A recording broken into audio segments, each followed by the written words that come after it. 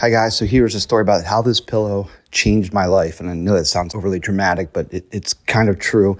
Um, I, I, struggled with acid reflux or GERD my entire life. I was given two weeks to live. No, I'm kidding. I really didn't. But it can be serious because I, I developed a condition called Barrett's esophagus, where the reflux in your throat and your esophagus starts to cause the tissue to mutate, and it can go into a cancer state and cause esophageal cancer. I've tried all the prescriptions, the medications, over the counter stuff. Um, you know, those things help, but um, any gastroenterologist that you talk to uh, when you're dealing with this this condition is going to tell you you want to elevate your bed. Right, gravity is is the key to keeping the acid down. So rather than put up the bed on the block, just wasn't really practical for me. I mean, if you sleep with you know a significant other and had to put them through it where they don't really need it, it just wasn't something I was interested in. So when I found this item, I was very excited. Uh, it will take a couple days to get used to it. strange at first, it's different, but um, after that, I absolutely love it. I've had this pillow for seven years. It has held up great. Check it out, like and follow for more.